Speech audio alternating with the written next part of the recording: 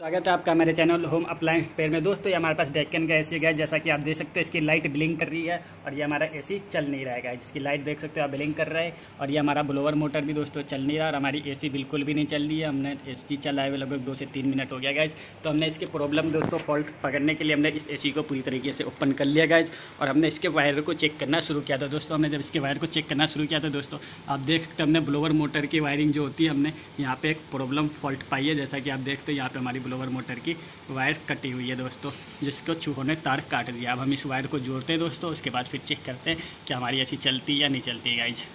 दोस्तों, जैसा कि आप देखते ये वाला वायर हमारा कटता गाइज़ हमने इसे अभी अभी जॉइंट किया है दोस्तों और टेप नहीं लगाया दोस्तों। टेप इसलिए नहीं लगाया क्योंकि हम एसी अब फिर से चालू करेंगे गाइज़ एसी ऑन करके देखते हैं अब हमारी एसी ऑन होती है या नहीं गाइज़ तब हमने गए हैं दोस्तों एम से भी ऑन करते हैं और एसी चला के देखते हैं दोस्तों कैसी चल रही है, क्या फिर से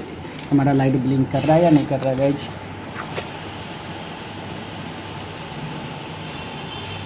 तो दोस्तों, आप देख सकते हो लाइट हमारी ब्लिंक नहीं कर रही है और ब्लोवर मोटर भी हमारा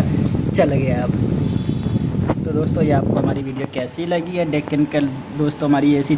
थी दोस्तों, जिस पर हमारी लाइट ब्लिंक कर रही थी गाइज़ अगर आपने हमारे चैनल को सब्सक्राइब नहीं किया है तो सब्सक्राइब कर ले, साथ ही साथ बेल आइकन को भी ज़रूर प्रेस कर ले, दोस्तों।